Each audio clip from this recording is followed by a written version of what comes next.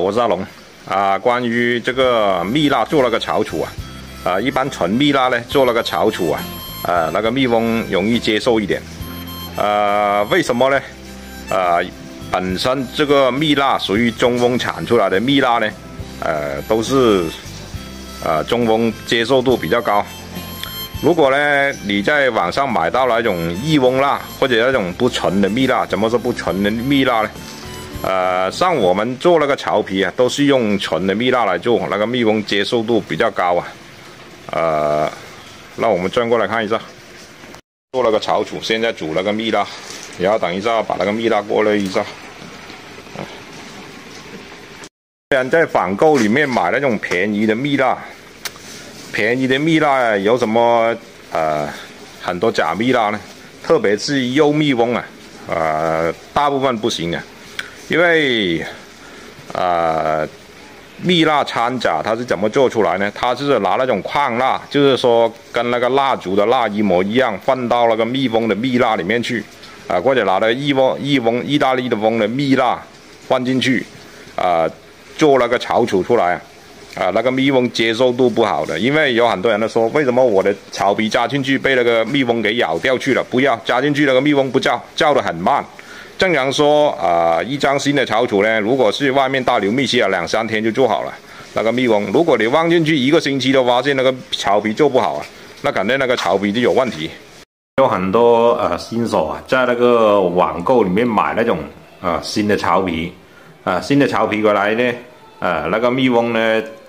啊正常来说它接受度是还可以。如果呢有些它是呃那种蜜蜡，等于说巢。翘楚的生产商啊，为了节约成本，他就从那个蜜蜡里面掺入那种矿蜡。矿蜡呢，就是说，呃，蜡烛那种蜡，它掺进那个蜜蜡里面呢，可以省很多成本。成本，呃，由于啊，这个矿蜡的价格比较低啊，啊，蜜蜡的价格就比较高，这样的话可以省很多成本。第二个呢，呃，也还有一个问题，就是说。呃，就是说那个蜜蜡掺入那个矿蜡里面呢，那个机器生长的速度比较快一点。如果不掺入那个矿蜡进去呢，它生长的速度就比较慢。呃，最主要是呃不掺那个矿蜡进去的那个机器啊，压呃压这个巢楚的时候呢，呃压的比较容易粘机，等于说那个机器被被了那个蜜蜡给粘粘住了，经常卡机。如果呢是掺了那个呃矿蜡进去，它就不那么容易粘机，啊，这样生产的速度就比较快一点。以前我家里面都有一有一台那个呃呃批量批量生产蜜蜡的生生产翘楚的那个机器啊，不过现在已经没有了。那个机器现在用久了，那个呃牙纹都变形了，用不了了。呃，就算压得出来的话，很容易做那个雄蜂出来。因为那个呃压纹啊变变大了，等于说压出那个巢楚啊，那个孔都变大了。呃，巢楚的孔一旦变大了就不能用了，用了很容易这个孔呢在这里叫了一堆雄蜂去啊。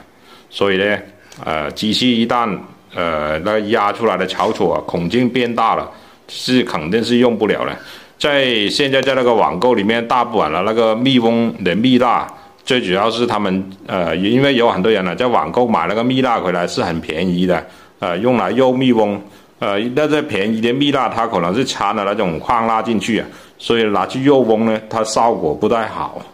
啊，等于说它肯定是掺了别的东西啊，因为矿蜡呢它是用啊别的东西提炼出来的，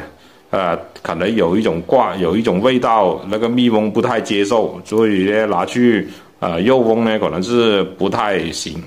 啊，这个是很正常的，呃，因为啊，那个那矿蜡里面呢，它是用什么东西来提炼，我就不太清楚了。它就可以跟那个蜜蜡给混在一起煮溶了，它就混在一起，所以呢，做出来的草土不好用，拿去用蜜蜂呢，呃，用不到，所以呢，这个蜜蜡不纯也是有很大的关系的，啊，好了，今天的视频已经到这里为止，喜欢我的视频可以点关注。